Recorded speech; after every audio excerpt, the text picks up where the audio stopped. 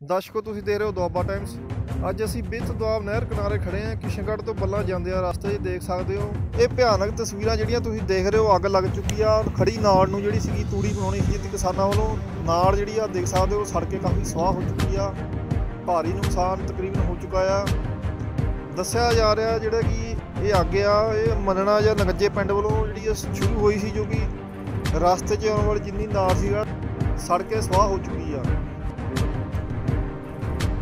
ਕਿਸਾਨ ਵੀ ਜਿਹੜੇ ਆ ਟਰੈਕਟਰ ਲੈ ਕੇ ਪਹੁੰਚ ਚੁੱਕੇ ਆ, ਅੱਗ ਨੂੰ ਬੁਝਾਉਣ ਦੀ ਪੂਰੀ ਕੋਸ਼ਿਸ਼ ਕਰ ਰਹੇ ਆ, ਜਦੋਜਹਿਦ ਕਰ ਰਹੇ ਆ। ਤੇ ਆ ਦੇਖੋ ਦੋਸਤੋ, ਅੱਗ ਕਾਫੀ ਭਿਆਨਕ ਰੂਪ ਲੈ ਚੁੱਕੀ ਆ। ਅੱਗ ਦੀਆਂ ਲਪਟਾਂ ਜਿਹੜੀਆਂ ਕਾਫੀ ਭਿਆਨਕ ਰੂਪ ਚ ਨਿਕਲ ਰਹੀਆਂ ਆ।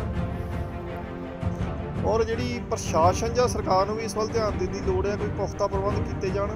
ਪਿਛਲੇ ਦਿਨ ਵੀ ਜਿਵੇਂ ਅੱਗ ਲੱਗ ਗਈ ਸੀ ਲਾਵਲਪੁਰ ਜਿਹੜੇ ਨਜ਼ਦੀਕ ਪਿੰਡ 'ਚ ਤਕਰੀਬਨ 35 ਏਕੜ ਖੜੀ ਫਸਲ ਕਣਕ ਦੀ ਸੜ ਕੇ ਸਵਾਹ ਹੋ ਗਈ ਸੀ। ਉੱਥੇ ਫਾਇਰ ਬ੍ਰਿਗੇਡ ਜਿਹੜੀ ਸੀ, ਡੇਢ ਘੰਟੇ ਬਾਅਦ ਪਹੁੰਚੀ ਜਦੋਂ ਕਿ ਅੱਗ ਨੂੰ ਕਾਬੂ ਪਾ ਲਿਆ ਗਿਆ ਸੀ ਕਿਸਾਨਾਂ ਵੱਲੋਂ।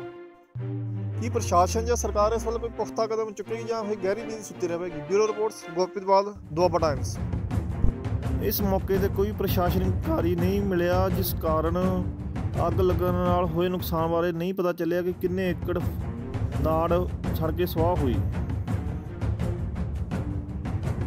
ਕਿਸਾਨ ਦੇਖ ਲਓ ਪੂਰੀ ਮਸ਼ੱਕਤ ਕਰ ਰਿਹਾ, ਅੱਗ ਨੂੰ ਕਾਬੂ ਪਾਉਣ ਲਈ, ਭਜਾਉਣ ਲਈ।